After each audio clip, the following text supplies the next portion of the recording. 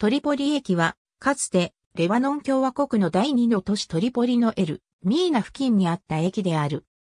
1911年に当駅が営業開始しており、当駅より単線でシリアアラブ共和国の都市ホムスへと連絡していた。当駅は前世紀の1920年代、1930年代、及び1940年代にタウルス急行線の終点駅となっていた。1945年には、当駅よりベイルートの中央駅へと連絡していた。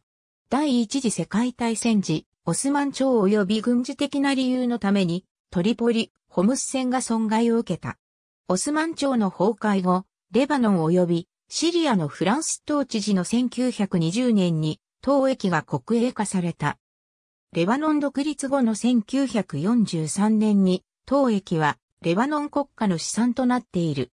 1975年に、現在いくつかの多目的建物が収容されている、当駅が放棄されている。1975から1991年のレバノン内戦時に、これらの建物はひどく損傷を受けた。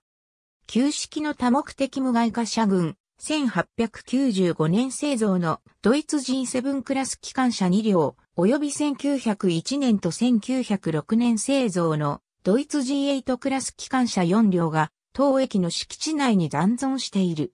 車両には戦争の爪痕が見て取れる。当駅は2011年6月に2日間だけ訪問客に門戸を再び開いている。当駅はイスラエル国から数回砲撃されている。ありがとうございます。